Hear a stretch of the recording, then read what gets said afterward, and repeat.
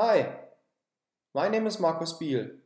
I'm a software craftsman with 14 years of experience in Java development. Today I would like to talk about hexagonal architecture. This talk is actually based on a talk from Chris Fidao, a PHP developer, and also influenced a bit by a talk from Robert C. Martin. I have the links to both talks in the references at the end of the talk. Okay, let's start. First of all, let's talk about the motivation for the hexagonal architecture. Um, we try to improve the maintainability with hexagonal architecture because it is very important that we can do easy changes and that we can change the software very fast. Um, the faster we can make changes, of course, the less time it needs us, and so our system can be developed faster and cheaper. Um, so the more the technical debt increases, the lower is our maintainability. And hexagonal architecture wants to improve that with the use of layers, just as well as many other architectures. Okay, so now let's have a look. Here we see the hexagon. The hexagonal architecture, as you might guess, is called hexagonal architecture because of this image here, the hexagon. So the hexagon is a symbol with six sides as you see here and uh, they represent actually six different ways of communicating with the system. As of today, you actually can communicate n times, so any number of times with the system, but this is how hexagonal architecture was named hexagonal architecture anyway. So we have different layers as said. Here you can see framework, application and domain. Uh, Chris Fidao even speaks of core domain, but for me it's both the same, so I just use domain. Um, actually, hexagonal architecture is a perfect fit for domain-driven design. Um, so if you know what domain-driven design is, perfect. So you would use domain-driven design here in the red layer in the domain. But if you don't know domain-driven design, it doesn't matter. You can use hexagonal architecture even without domain-driven design. Just know that they're both a perfect fit. So, okay. So we have these layers and now let's go through each of them. But anyway, first of all, let's have a look at the outside. So our system would remotely communicate with any number of remote systems in any kind of format like REST, HTTP, binary, SOAP, SQL, or it could also communicate with other hexagonal systems. For example, uh, especially if you have a big system, um, you can actually split your system up into different hexagonal architectures that communicate remotely, which is a great way of enabling um, greater teams to split up and to parallelly work on different parts of the system. Okay. Now, framework. This is the first layer of our hexagonal architecture. The framework layer is called framework layer because this is the place um, where usually the framework would sit if you use a framework. I mean, um, you don't need to use a framework. This is totally up to you. So to phrase it differently, this is the place where the communication coming from outside, as you saw before here. So this is the place that transfers the incoming stream to an object that we can work on. In the case of HTML, for example, uh, HTTP communication, for example, um, you would you could have a controller here that would then um, provide a request and response object that you could work on. So let's have a look at an example. Here, this is an example written in Java. So you could have an HTTP controller extending some kind of a base controller. Not necessarily, but here this is just my example. Um, you would have a process method that would receive request and response. Actually, I meant HTTP request and HTTP response, but so that it fits on the slide, I just wrote request and response. Um, and so we would retrieve parameters taken from the request, would wrap them in a command. A command is actually a pattern from the Gang of Four, a design pattern. I hope you know it. If not, maybe just look it up on the web. So we wrap um, parameters in a command and then we forward this command to a command bus. So what is a command bus actually? Let's have a look. The command bus is in the application layer. And the application layer, as you can see here, sits right in the middle between domain and framework. so what is inside the application layer besides the command bus, which I actually already mentioned? So the application layer contains everything that is not specific to a certain technology anymore. So it's not specific to HTTP, not specific to REST, SOAP, and so on. But it's also not domain specific yet. So it's like a man in the middle layer, you could say. Okay, now let's have a look. Here we see the command bus and uh, we have an execute method that takes the command that before in the controller we created. And this command gets forwarded to its specific handler. So for each command, we would have a specific handler. A command um, could be, for example, add user.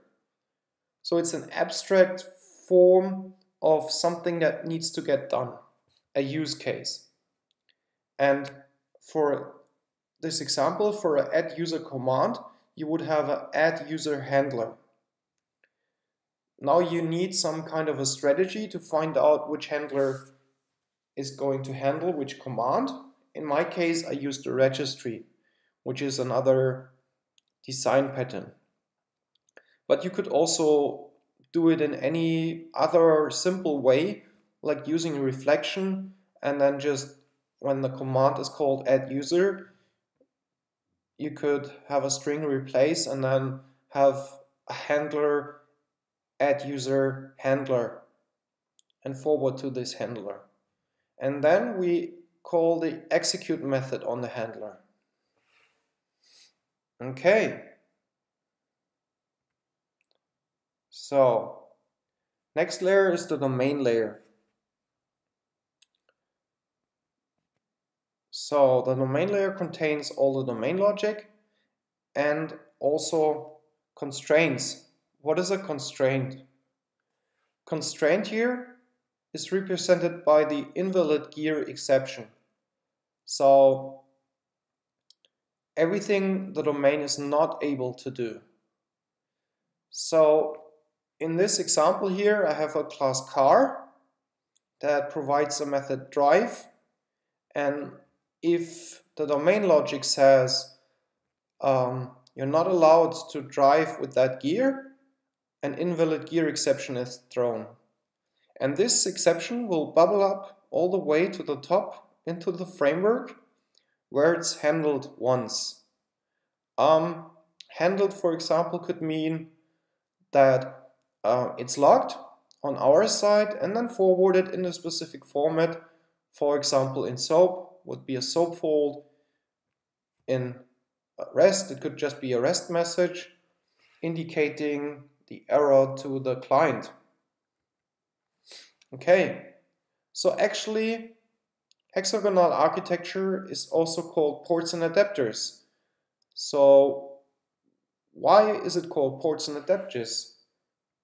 Ports and adapters. So we have ports and the adapters are perfectly fitting into those ports. The ports are like the sides of our hexagon.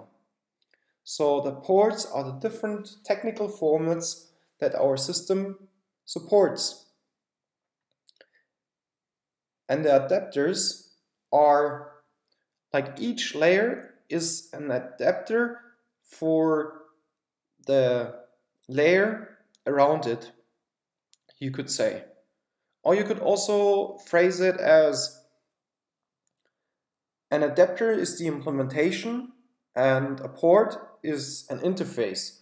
Because something very important about hexagonal architecture is its interfaces.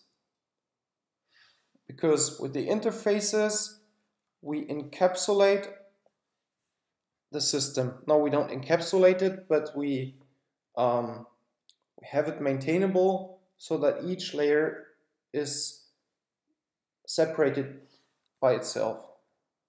Okay, so now um, I already talked shortly about use cases. A command like make call, receive call, or send SMS. I mean, a use case in our hexagonal architecture is represented as a use case. And the good thing about this is you implement your command, your use case once, and then you're totally agnostic of the specific technical implementation. One team can focus and can design on the use cases without the system being actually finished, while another team can already start implementing the te technical ports that are coming into the system, independent of a specific use case. Okay. So here again we see the hexagon and the different layers. So I already talked about interfaces and how interfaces are important for our hexagonal architecture. Actually, each layer protects itself with a boundary from the outer layer around it. Yeah, so here this is also something I have kind of taken from Chris Fidao. We see the Chinese wall. I think the Chinese wall is a very nice example of a boundary. Uh, it protected the Chinese for hundreds of years. Um, and this is the same idea in our hexagonal architecture that each layer is protected from the layer around it. So that the dependencies are coming from outside in. And so the domain is independent of the application and the application is independent of the framework. So how do we achieve that actually? We achieve that with inversion of control or dependency injection, which you probably have heard of already. So in C Sharp, as well as in Java, for example, you have dependency injection, for example, with annotations, or with the help of, in Spring, like you can also define an XML context file that sets up your dependency injection.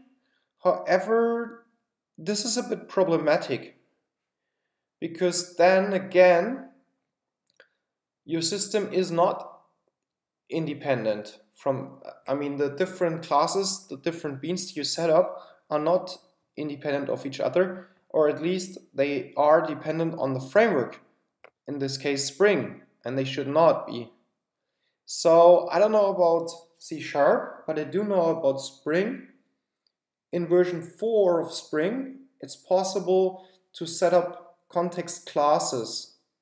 And then really your different services and classes you set up don't contain any code and neither any annotations and so they're totally agnostic of any framework in the domain which is really great and the way it should be.